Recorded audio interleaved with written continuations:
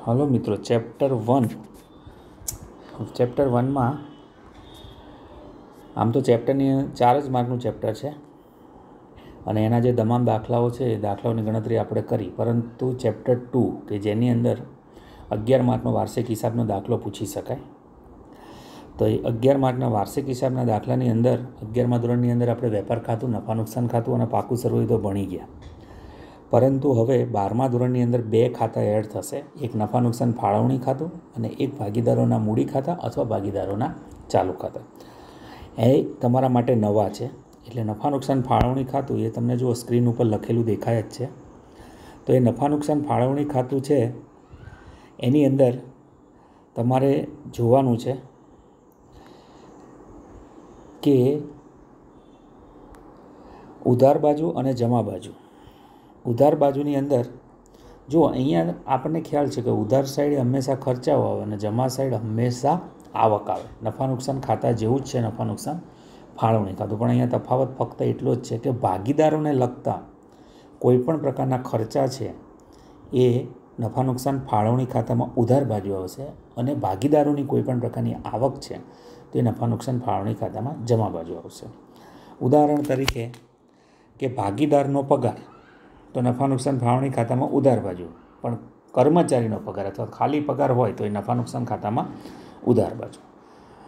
ભાગીદારનું commission નફા નુકસાન ફાળવણી ખાતામાં ઉધાર સાઈડ આવશે. જ્યારે ખાલી કમિશન કીધું હોય તો એ નફા નુકસાન ખાતામાં ઉધાર બાજુ આવશે. એટલે તમે જોઈ શકો છો, આપણે એને વિગતે ચર્ચા કરીએ. તો અહીંયા જુઓ, નફા નુકસાન ખાતામાં ખાતે અહીંયા પહેલું જ છે ચોખ્ખી ખોટ અને અહીંયા છે ચોખ્ખો નફો. બરાબર? એ લખવાનું. હવે ભાગીદારોના મૂડી પરનું વ્યાજ. તો ભાગીદારના મૂડી પરનું વ્યાજ એ નફા નુકસાન ફાળવણીના ખાતામાં ઉધાર બાજુ આવશે. અને ઉપાડ પરનું વ્યાજ છે નફા નુકસાન ફાળવણી ખાતામાં જમા બાજુ. કેમ? કારણ કે મૂડી પરનું વ્યાજ એ ખર્ચો છે, ધંધાનો. અને ઉપાડ પરનું વ્યાજ છે એ શું છે? આવક છે. એટલા માટે મૂડી પરનું વ્યાજ હોય તો ઉધાર સાઈડ અને ઉપાડ પરનું વ્યાજ હોય તો જમા સાઈડ આવશે. પછી ભાગીદારની ચાલુ ખાતાની જમા બાકીનું વ્યાજ જમા બાકીનું વ્યાજ છે એ ઉધાર સાઈડ આવશે અને ઉધાર બાકીનું વ્યાજ છે જમા સાઈડ આવશે. ભાગીદારનો પગાર બોનસ મહેનતાણું, ભાગીદારનું કમિશન આ છે એ ઉધાર સાઈડ આવશે.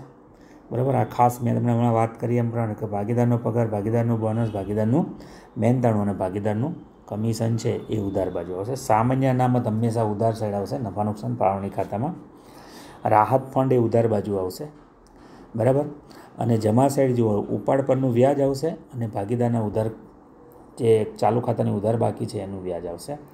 હવે બંને બાજુના ખાતા તમે બંધ કરો અને જો તમને ઉધાર સાઈડ બાકી મળે તો એને કહેવાય વહેંચણી પાત્ર નફો અને જમા સાઈડ બાકી મળે તો એને શું કહેવાય? વહેંચણી પાત્ર ખોટ. અહીંયા તમને વહેંચણી પાત્ર નફો મળે તો એ ભાગીદાર એ અને બી વચ્ચે એ નફા નુકસાનના પ્રમાણમાં વહેંચી દેવાનું. જે પ્રમાણ હોય એ બે જેમ એક હોય તો બે જેમ એક, ત્રણ જેમ એક હોય તો ત્રણ જેમ. એક. અને અહીંયા તમને જો બાકી મળે તો એને કહેવાય વહેંચણી પાત્ર. ખોટ. એ પણ જે નફા નુકસાનનું પ્રમાણ છે, એ પ્રમાણે વહેંચી દેવાનું. એટલે આ થઈ ગઈ વાત નફા નુકસાન. ફાળવણી ખાતાનું એક પ્રકારનું નફા નુકસાન ખાતું જ છે. પરંતુ ભાગીદારને લગતી માહિતી એ આમાં આવશે. કમ્પ્લીટ. આગળ.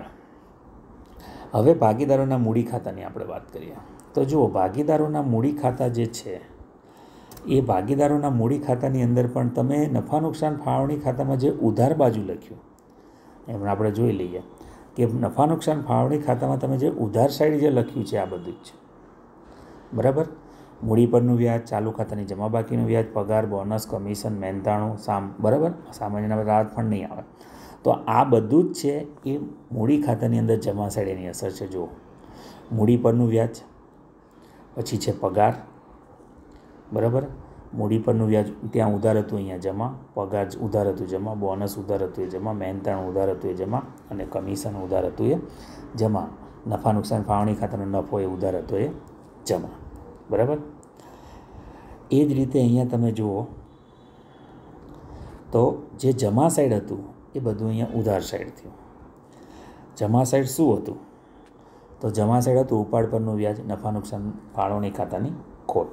અને આમાં વાત આવી છે બાકી આગળ લાવ્યા અને બાકી આગળ લઈ ગયા. તો બાકી આગળ લાવ્યા એ તમને રકમમાં આપેલી જ હશે અને બાકી આગળ લઈ ગયા છે એ પણ રકમમાં લાવ્યા છે. ઉધાર બાકી હોય તો ઉધાર બાજુ લખવાનું, જમા બાકી હોય તો જમા બાજુ લખવાનું. પછી તમારે ખાતું બંધ કરવાનું. ખાતું બંધ કરતાં જો તમને આ સાઈડ બાકી મળે, તો એને આપણે કહીશું બાકી આગળ લઈ ગયા. બરાબર? અને આ સાઈડ બાકી મળે, તો એને આપણે કહીશું બાકી આગળ લઈ ગયા. જો આ બાજુ મળે તો આ બાકી આગળ લઈ ગયા આવશે અને એ જ રીતે આ બાજુ બાકી આગળ લઈ ગયા આવશે. આ સાઈડ આવશે તો એ જશે હવે પાકા સરવૈયાની અંદર. બરાબર છે? પાકા સરવૈયામાં કઈ બાજુ જશે? તો મૂડી દેવા બાજુ એટલે કે જવાબદારી બાજુ લખાય અને આ બાજુ આવશે તો એ જશે મિલકતો બાજુ. એટલે એ બાકી છે, એ જે બાજુ આવે એ બાજુ આપણે લઈ જવાનું રહેશે. હવે જો મૂડી ખાતે ક્યારે જો અસ્થિર મૂડી ખાતા પદ્ધતિ હોય તો તમારે મૂડી ખાતું બનાવવાનું. આવશે. અને જો સ્થિર મૂડી ખાતા પદ્ધતિ હોય, બરાબર છે? તો એની અંદર તમારે ચાલુ ખાતું બનાવવાનું આવશે. મૂડી ખાતામાં ચાલુ ખાતામાં તફાવત એવો અસ્થિર મૂડી ખાતા હોય તો મૂડી ખાતું એક બનાવવાનું આવશે. અને સ્થિર મૂડી ખાતા હોય તો મૂડી ખાતું અને ચાલુ ખાતું બંને બનાવવાના. હવે આની અંદર શું કરવાનું છે? તો આની અંદર સ્થિર મૂડી ખાતાની અંદર તમારે ફક્ત બાકી આગળ લાવ્યા અને બાકી આગળ લઈ ગયા, બે જ આવશે. જો વધારાની મૂડી લાવ્યા અને વધારાની મૂડી લઈ ગયા, તો જ એની મૂડી, અસર જે મૂડી ખાતામાં આવશે. નહીતર એ અસરો બધી જ ક્યાં જશે? ચાલુ ખાતામાં જશે.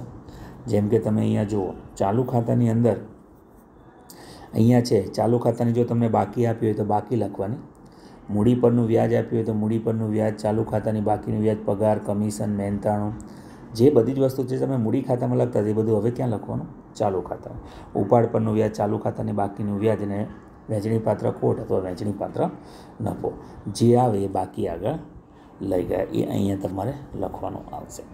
બરાબર? આ બધા ખાતા છે એ આપણે અગિયારમા ધોરણમાં બનાવ્યા છે. તમને જો ખ્યાલ હોય તો તમારે એ જોઈ લેવાનું રહેશે. આ રીતે મૂડી ખાતા, ચાલુ ખાતા એ તમારે ખાસ ધ્યાન રાખવાનું કારણ કે એના ઉપરથી તમારે આગળ તમને વાર્ષિક હિસાબના દાખલા આવડશે.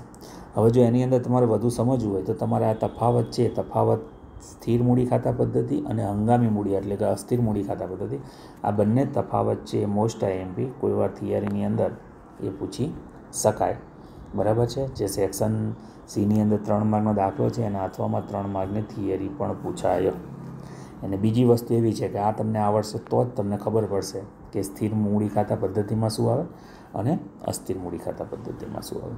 એ જ રીતે નફા નુકસાન ખાતું, નફા નુકસાન ફાળવણી ખાતામાં શું તફાવત છે? હું બોલ્યો છું, પણ તેમ છતાં એકવાર આને તમારે વાંચી લેવાનું ને એક બે વાર લખી નાખવાનું કે નફા નુકસાન ખાતું, નફા નુકસાન ફાળવણી ખાતામાં કઈ કઈ વિગતો આવે. તો આ રીતે આખું જે ચેપ્ટર છે, એ ચેપ્ટર તમને મેં વિગતે સમજાયું, જેની અંદર નફા નુકસાન ફાળવણી ખાતું, ભાગીદારોના મૂડી ખાતા, સ્થિર મૂડી ખાતા, ચાલુ ખાતા સ્થિર મૂડી ખાતા પદ્ધતિ અને અસ્થિર મૂડી ખાતા પદ્ધતિનો તફાવત અને નફા નુકસાન ફાળવણી ખાતું અને નફા નુકસાન ખાતાનો તફાવત. એટલે અહીંયા આ તમામ વિગતો છે એ આપણે અહીંયા પૂરી થાય છે. બરાબર છે? અને આ સાથે આ ચેપ્ટર છે પૂરેપૂરું, સંપૂર્ણ રીતે અહીંયા પૂર્ણ થાય છે. Okay, bye.